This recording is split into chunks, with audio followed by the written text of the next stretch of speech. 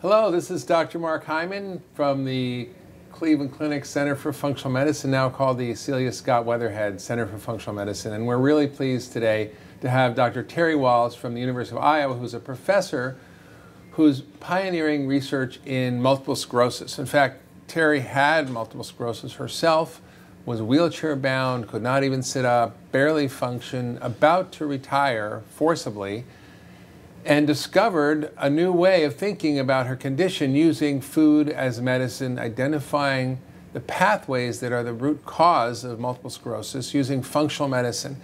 And she's now running programs called a therapeutic lifestyle program that she's been doing at the VA and is now moving on to the Wahls Institute where she'll be able to greatly expand her work and bring the benefit of the science of how we address the root causes of chronic inflammatory autoimmune diseases, specifically MS. So really excited today to have Dr. Terry Wahls here at the Center for Functional Medicine. Welcome, Terry. Great, thanks, so thanks I'm, for having me. I'm so excited to have you here because you, you are uh, not only a brilliant physician, but you've exemplified something that is impossible, which is recovery from progressive multiple sclerosis.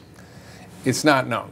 It doesn't Correct. happen. It's a one-way street, and so you've gotten the attention of many, many people around the world, and even the MS Society, Yes. which uh, was completely resistant to any approaches other than pharmaceutical, and has now funded you to the tune of one and a half million dollars to actually do research showing whether or not the, there's an effect to your protocol. So I'm really excited to hear about your work, and we have a bunch of questions, but I really just want to welcome you today. Thank you, thank you. Very glad to be here. So, um, you know, one of the things that, that is commonly thought about functional medicine is that it's for the rich, that it is a disease approach that requires expensive testing, expensive supplements, long, intensive one on one consults with physicians. It's usually fee for service. And here at Cleveland Clinic, we are doing an insurance based model, but we're kind of losing money because it takes so much time. We can mm-hmm. spend an hour and a half with a patient and get paid $200, and if you do a 10 minute colonoscopy, you get paid 1000 bucks. So the system's a little messed up, but you figured out a way around that at the VA because it's so constrained there. You can only Yeah. do certain things. You can only treat people in a certain way. And I'd love you to share with us how you've kind of created extraordinary results without even a one-on-one consultation with you. Well, uh, you know, when we first got started, uh, the functional medicine was still uh, a problem word uh, at the VA. Uh, so we called it the Therapeutic Lifestyle Clinic. Uh, and I agreed that I would not be doing any exotic um, laboratory testing, that I would just do basic primary care tests. And um, I had one day a week to do this. So we started out gradually with, um, and there's immediately too much demand. So I started with small group visits. Uh, and as I got more and more comfortable with this, uh, the size of my groups could grow. Uh, and I kept wanting to let everyone in who wanted to be seen. So um, I kept reimagining how I deliver the service uh, so we could uh, maximize our throughput. Uh, now, because the VA uh, has a population based, um, we don't have to worry about fee for service or insurance model. Uh, and doing this then uh, as a group made a lot of sense. Uh, and since I couldn't really do any functional medicine testing, I got to really test like, okay, so what could I do with very basic primary care testing? And just do uh, group classes, group model uh, teaching, and with the, uh, and as there got to be a long wait to get to see me, then the ticket to come see me was to agree to my terms, which is 100% commitment for 100 days. Uh, and if you weren't ready, that's fine. You could just work with our dietitian one on one. But if you want to be part of the group experience, to be with the Dr. Wahls, then Right. you had to say, okay, I'll do it 100% for 100 right. days, gluten free, dairy free, and all those vegetables. Right. Yeah, it's interesting. You know, in, in medicine, well, you know, we say, oh, well, diet changes don't really work. And, and I, what I say to that is, well, you know, if, if you say, say you have a headache and you take a milligram of aspirin, you would conclude that aspirin doesn't work. But in fact, it's the dose and the intensity of the treatment that matters, which you've really shown is that you, when you have people adhere to a treatment, it, it, food is a disease modifying drug. It's the most potent one, actually. It is. It's far more powerful than any other drug. I mean, I always say if I was on a deserted island, I only had one medicine to bring with me, it would be food. Yeah, that would be a very You know? good choice. And so, what's also interesting about about your your program is that you found that it's not just you know the doctor, but the peer-to-peer coaching and support that actually helps people transform their lifestyle. Yeah, I'd say the uh, peer-to-peer uh, coaching as I bring people in and we do uh, as a group, the uh, timeline exercise as a group, and then the matrix as a group, and people then uh, get um, sensitized to other triggers they may not have thought about had they not been in a group and hearing about uh, uh, John Doe's exposures to the burn pits. Mm-hmm. Like, oh, yeah, that's right. I, I had daily burn pit exposure in my first deployment. That's Maybe right. that was part of it. Yeah. So that gives a lot of uh, a lot more learning and awareness. And then when we do our um, follow-ups, and we're, now we're trying to get them to adopt and sustain, and they're talking about their struggles. It's when their peer says, "This is how I deal with my grandkids." It's far more effective than when I, That's with right. a dietitian, say, "This is how you should deal with your grandkids." It's, it's, a, it's a great way to more decentralize healthcare, change the model, make this scalable. But, you know, we've been talking earlier, and, and you say you get about 50% of the patients better Yeah, to some I- degree. Some correct. dramatically better, some a little better. Yeah. Uh, and there's a cohort that doesn't get that much better. And I think, you know, that we were challenged, ch- challenging to think about that. And, it, you know, it seems to me that there are many causes of MS, Oh, right? absolutely. So, so MS is a name, right? And, and I always say just because you don't know the name of the disease doesn't mean you know what's wrong with you. So, Correct. So there may be multiple factors other than the dietary induced ones. Well, you know, and I'd also make the observation when I was approved to do my very first study, uh, the IRB said, okay, we want you to do the study, but you have to follow what you did. So we designed the protocol as rigorously as we could to describe my intervention. But that meant there was no personalization. So I did complete a timeline and matrix. So I knew I was addressing parts of the issue, but I wasn't able to necessarily address all of the factors contributing to their illness because this is part of a research study. Right. Uh, and again, within my MS study, uh, it's still constrained by the protocol comparing the, the Swank diet and the Wahls diet. Um, so I, I don't have the ability to personalize it as well as I could. yeah.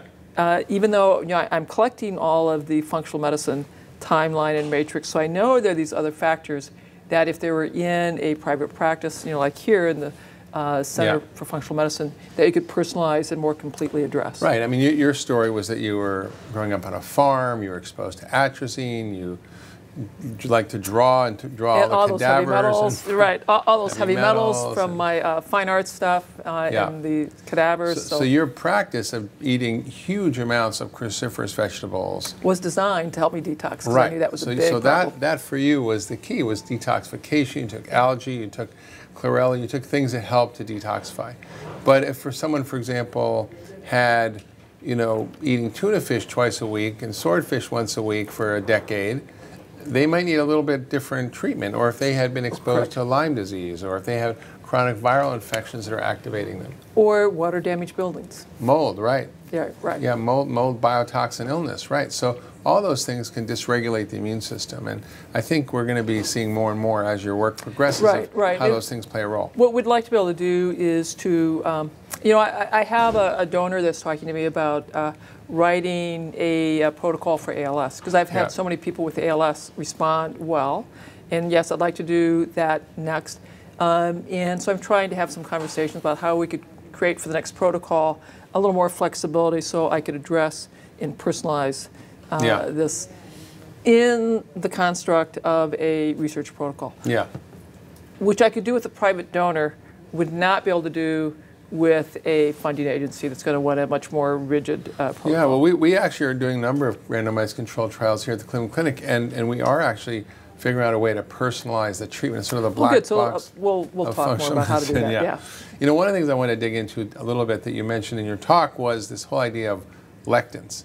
And Oh, yeah. lectins are in grains and they're in beans, and, and, and you said they're in seeds as well. Yeah, yeah. Uh, and you know, you have patients who are vegetarians who want to try this or vegans. Um, how do you address the lectins? So- and tell us a little bit about how lectins affect the immune Right. system. What so, we know. So let, us talk a little bit about lectins. So lectins are a, a protein that usually have a, a sugar attached to it that basically is an insecticide that plants use to poison uh, insects so they don't get consumed. Uh, the uh, compounds are also poisonous to all animals, including us. Uh, and for some people, depending on your genetic vulnerability, the lectins may be a little bit of a problem or a big problem. And again, dose makes uh, uh, the poison. Uh, so how do we deactivate lectins? Cooking will do that. Um, uh, some lectins you can't deactivate, uh, gluten being one of them. Can't get rid of that uh, at all. Um, uh, in lectins in nuts and seeds, you can diminish their inflammatory component by soaking and sprouting. So in our study, we use soaking and sprouting.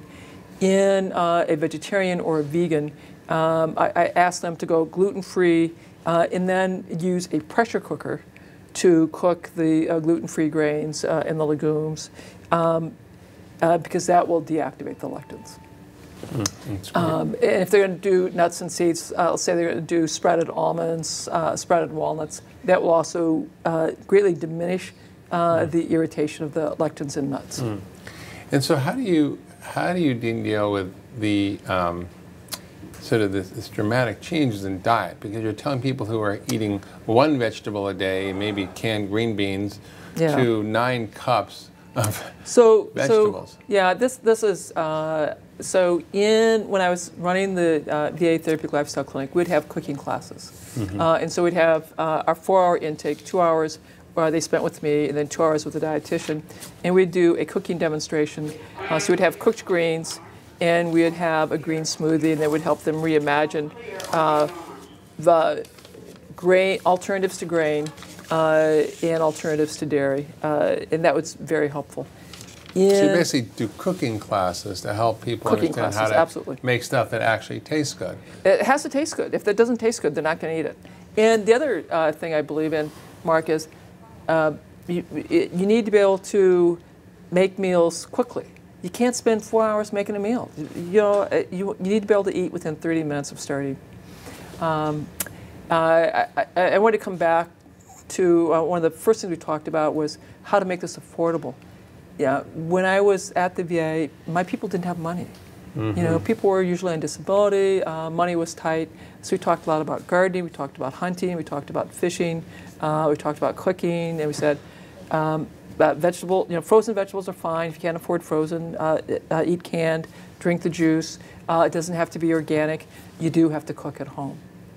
Uh, s- and so that's why we had cooking classes. And then as you can uh, uh, manage it, improve the quality of your food. Uh, in Iowa, at least, many, many communities have frozen deer meat that's available to anybody who, who wants to come. Yeah, yeah, no, it's true. You know, I think I think there's there's a series of myths out there that have been Yeah. promulgated by the food industry, which is that eating healthy is expensive, Yeah. that cooking's difficult, and that you know it's much cheaper and better to eat processed food. And I think I think these are myths that keep people from eating well. And yet, when you, we look at the data, and there's good data, eating well doesn't have to be more expensive, and and it can be done in, in a good way. In fact, I'm on the board of the Environmental Working Group, and we have a guide called "Good Food on a Tight Budget," which is food that's good for you, good for your wallet, and good for the planet. You're not having the most expensive filet mignon or the most expensive correct. fish, but you can eat real food for less. You know, and and we do talk about um, eating uh, meatless meals using your, your pressure cooker for grains and legumes uh, and uh, intentionally having uh, some vegetarian meals. Uh, I, I do want people to um, use the pressure cooker so that we won't have to worry about the lectin issue. But we do uh, talk about how to make this more affordable, and it can be done. Now, we had some questions from the on- audience watching on live stream. One of them was, how long does it take to see changes on the MRI? So, um, in our first study, the, one of the advantages of being told uh, we had money for 20, uh, but can only do 10 and get the safety data meant that when we ha- had our safety data on the first 10, and we showed uh, really remarkably positive quality of life and uh, fatigue severity changes, I went back to my uh, donor, the Direct MS group, and said, "How about paying for MRIs for the next 10?" Which they did. Uh, so I had that data, but then I needed to find some more money so I could pay to get it analyzed. So we're now finally analyzing that data.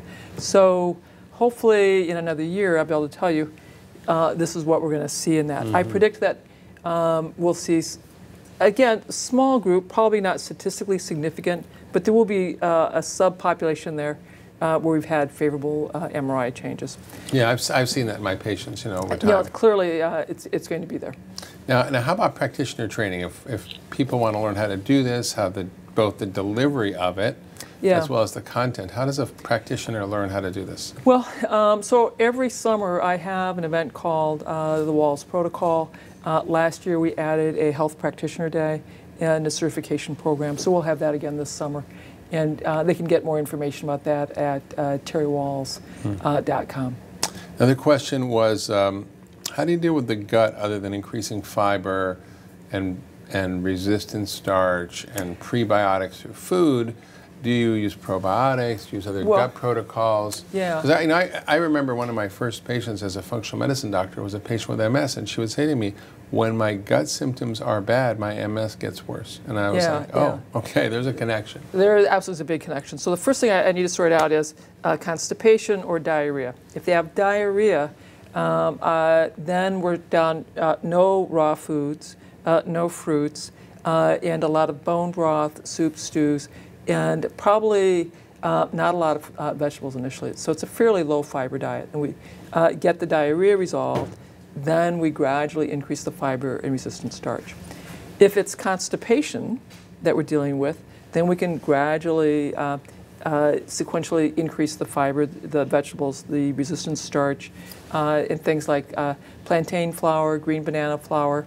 Um, in the paleo world, resist, let's see, uh, potato uh, starch is very popular, but the problem with potato starch, uh, Mark, is that uh, this, uh, um, one of the very popular products is conventionally grown with a lot of Roundup, is very moldy, and so consuming that product increases your risk of C. diff.